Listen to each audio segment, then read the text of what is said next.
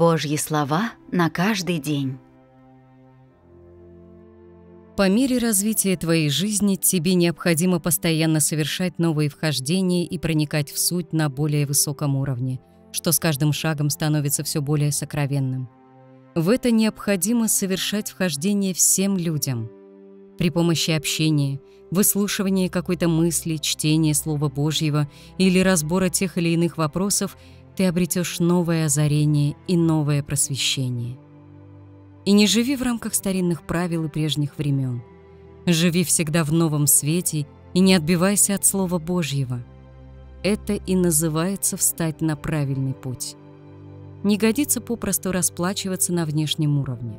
С каждым днем Слово Божье входит во все более высокую сферу, и новое появляется ежедневно.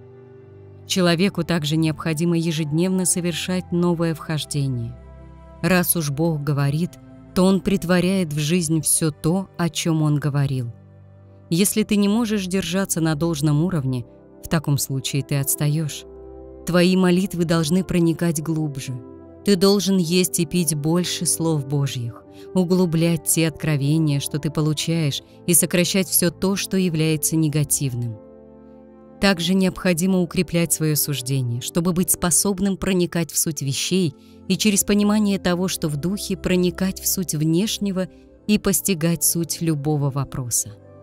И если ты не вооружен всем этим, разве сможешь ты возглавить церковь? И если ты говоришь только о письменах и доктринах без какой бы то ни было реальности и без способа практики, ты сможешь как-то этим обходиться лишь краткое время – Возможно, это малость допустима, когда ты разговариваешь с новообращенными, но через какое-то время, когда у новообращенных появится некоторый реальный опыт переживаний, тогда ты больше не сможешь восполнять их потребности. Разве подходишь ты в таком случае для того, чтобы Бог тебя использовал? Без нового просвещения ты не можешь действовать. Те, у кого нет нового просвещения, это люди, которые не знают, как переживать, и такие люди никоим образом не обретают новых знаний или нового опыта переживаний. И в вопросе обеспечения жизни они совершенно не могут выполнять свою функцию, как не могут стать пригодными к тому, чтобы Бог их использовал. Человек такого сорта является бесполезным, просто-напросто никчемным. Поистине, такие люди абсолютно не способны выполнять свои функции в работе, все они ни на что не годны – они не только не в состоянии выполнять свою функцию, но и добавляют церкви ненужную нагрузку.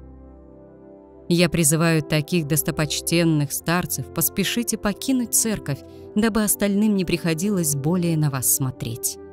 У подобных людей нет осознания нового труда. Они просто преисполнены бесконечными идеями. Они не могут выполнять никакую функцию в церкви.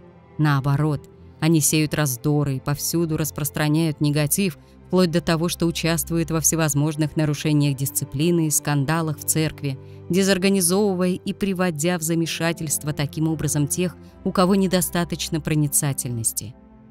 Эти демоны во плоти, эти злые духи должны покинуть церковь как можно скорее, пока церковь из-за них не пришла в упадок. Возможно, ты не боишься сегодняшнего труда. Но разве ты не испытываешь страха перед праведным наказанием завтрашнего дня – церкви есть много таких людей, которые являются нахлебниками, а также большое число хищников, стремящихся подорвать нормальную работу Бога. Все подобные вещи — это демоны, посланные дьяволом, это злобные волки, которые стремятся сожрать бесхитростных овец. И если не изгнать этих так называемых людей, они станут паразитами в церкви и молью, поглощающей пожертвования. Однажды эти презренные, невежественные, низменные и омерзительные черви будут наказаны.